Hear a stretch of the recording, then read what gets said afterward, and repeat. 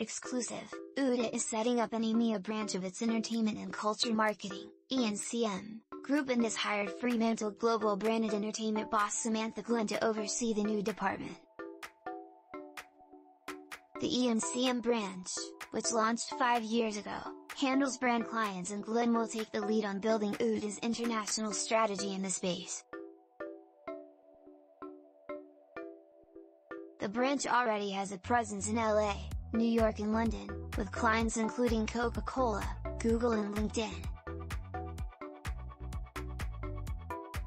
Glynne has already started in reports to E&CM co-heads Julian Jacobs and David Anderson. The borders of global entertainment are vanishing, the UK and EMEA creative markets are incredibly dynamic, and we are in a great position to bring our clients to the space with Sam's guidance, said Jacobs. Glynne said the company is perfectly positioned to unite culture, entertainment, strategy and delivery in a future-proof way. She has been with Fremantle for nearly a decade, joining as VP, Global Branded Entertainment before being up to SVP in 2019.